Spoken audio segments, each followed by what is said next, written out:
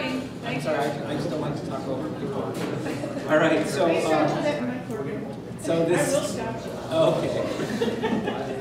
This is, uh, um, this is a panel interview, Judge Tao.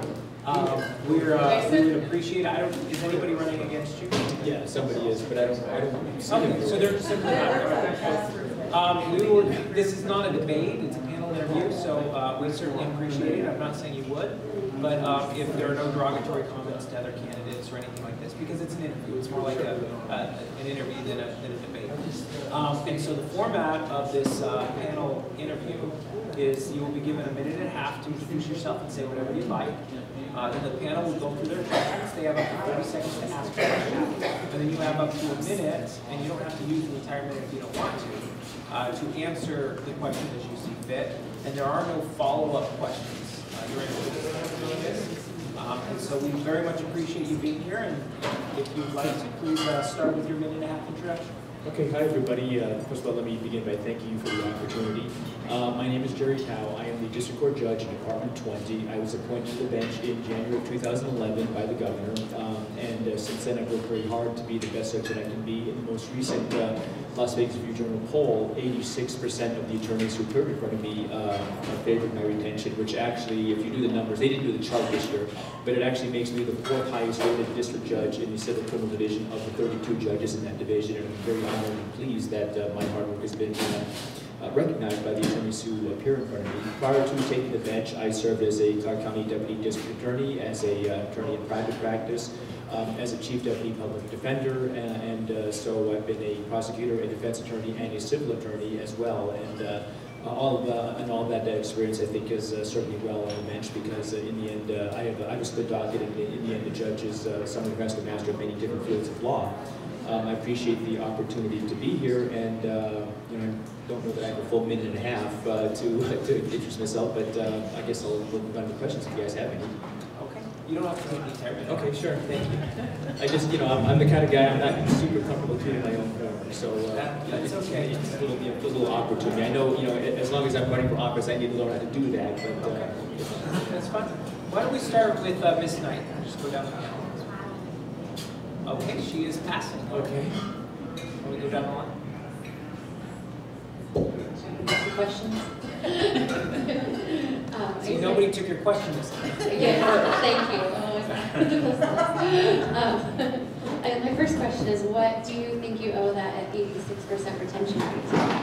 You know, um, I mean, obviously, I have to, uh, to ask the attorneys, but um, I, um, uh, I've tried very hard to do a good job. I try to be fair. The, the most important qualities in a judge are, are that they be fair and impartial and uh, open-minded and uh, consider all the arguments that are presented very seriously. I've tried very hard to do that. Uh, in addition, judges should be prepared and thorough, and uh, I've tried hard to do that as well. Uh, I, you know, I uh, spend a lot of time in the office on weekends and evenings, which I know is a little bit unusual because I feel like I have the obligation to do that. If the attorney said brought a motion to me that is important, uh, then I think uh, uh, if, if it's important enough for my attention, for them to bring to my attention, it's important enough that I should give it my full attention and uh, the best ruling that I uh, can give to it. Um, and uh, um, you know, and I think that. That those are the qualities that I think make a good judge. and tried very to do that, and you know, I, and uh, I think that uh, um, you know that's really what's, uh, what's important in judge. Time. Thank you.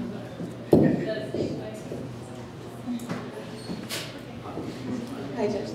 Hi. So, um, a lot of my questions have been based on education because it's, it's a very important subject matter for me. And just based on the cases that you've seen in your court, um, what would be the biggest advice that you can give to, um, the defendants? And what are the last couple of books that you've read that stood out to you? I, hear the last part of. The last couple of books that you've read that stand out to you? The last couple of books that I've read? Well, it's interesting you mentioned education. As you, uh, as I'm sure you know, judges uh, per se don't have a lot to do with education. That's a policy matter. Um, I do know that we are in the budget environment that we're in, and everyone's talking about cutting things. Hopefully, the economy's turning around and that's becoming less of a concern, but I know that it's, it's always an issue. Um, and I think that the, uh, the value of education to uh, a person's life is measured by what I see in court every day. Um, when in the criminal docket, before I sentence somebody for uh, a crime, I get what's called a pre-sentence investigation report. You guys, you guys have probably heard other judges mention that. It's a, a, a background report on this person. It's usually six to ten pages long. Talks about their education, family history, any mental health history, their employment history, uh, any prior criminal record, things like that. And it's really, really rare that I ever sentence somebody um, on any kind of felony who's actually completed high school. Uh, It's really, really rare, to the point where when I uh, am going through these reports, or sometimes when I'm going through a case and I have to question somebody about their educational background, if they say they graduated or even got a GED, it kind of raises my eyebrows, because most people who enter in court uh, don't have, I'm sorry, don't have degrees, and I think that there's a, there's very much of a correlation and even Time, causation. I'm sorry. Yeah, you're supposed to respect the time. So, so I literally have to stop in the middle of a sentence, is that the, uh, I just want to make sure. I let you finish your sentence, you just started another sentence. Okay, so right. Okay, I I apologize. You guys are strict here, okay, I'm sorry. I, you know, like when I come before you, Judge, if, uh, I just try to obey the rules. Well, but see, see, that's, I think that's how I got to Department 86, because I don't usually cut people off like that, but I'm just saying, I don't think it's supposed to behave, you know. Oh, the truth comes out. No, no, no, You got, you you know got I'm it because you start court on time Okay, and you okay, read. stop. Okay, sorry. all the section time. Please, pass it here. You guys, I kid because I, uh, you guys know that hopefully. That's it. I could have finished this thought, but. All right, next week. Uh, Yes, you know there's a book out that says all the lessons we learned in life, we learned in kindergarten. And I know that you've had a lot of education. So I'll ask you, from sitting from law school, from all the education that you have acquired over the years, what have been your greatest lessons that you've learned from sitting on the bench?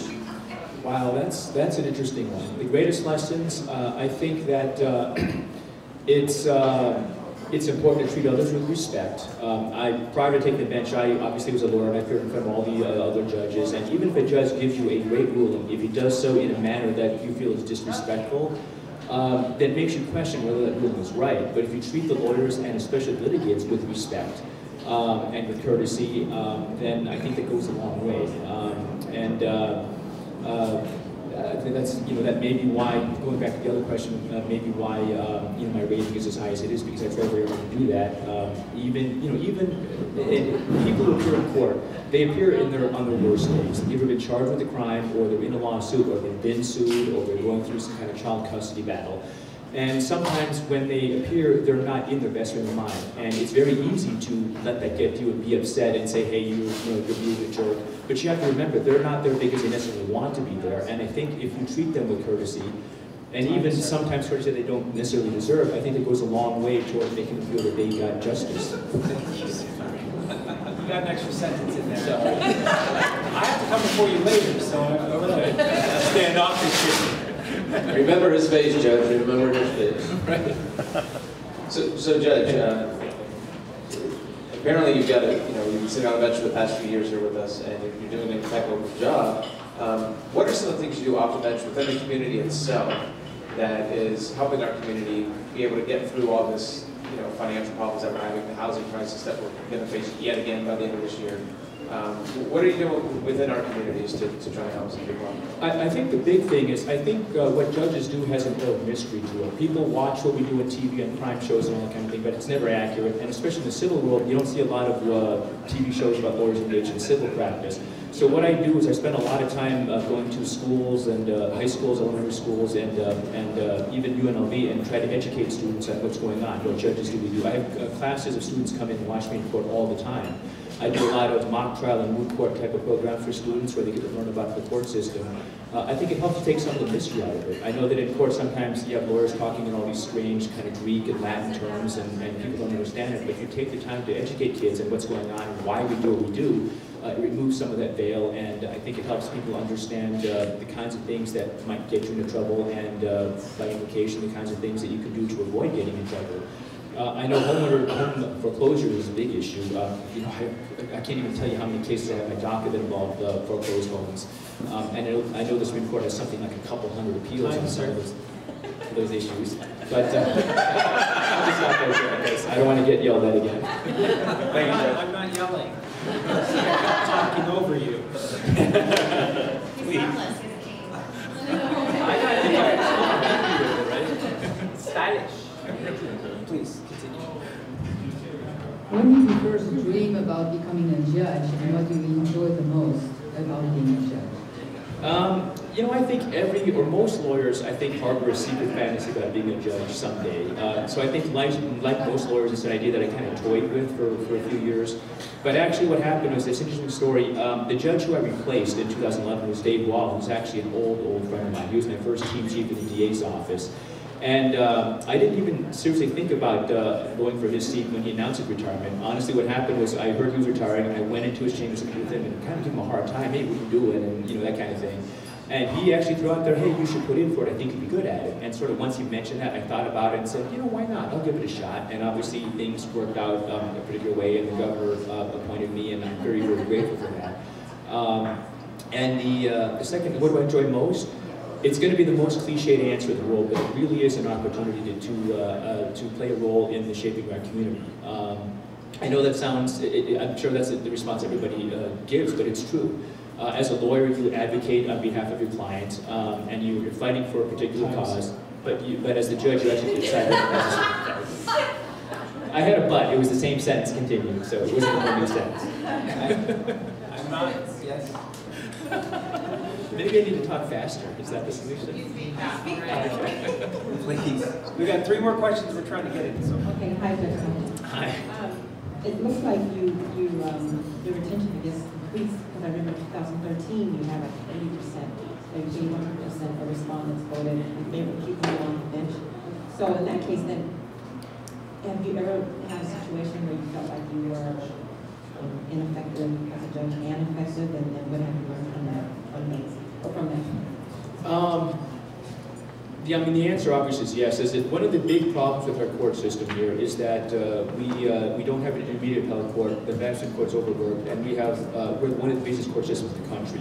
Uh, I don't know the statistics as, as of today, but a couple of years ago, every district court judge had an average of 2,100 cases. That was nearly twice the national average of district court judges. So workload is an issue, and as a result of that, the simple answer is yeah, I've had good days and bad days because there are just days when there's just so many things going on that you can't be focused. There's, you know, if I'm sitting in trial uh, until 5.30, then I have to get ready for the next morning's calendars. If there's, if there's 20 motions on the next day, then between 5.30 and whenever I get too tired to work, that's when I'm getting ready for it.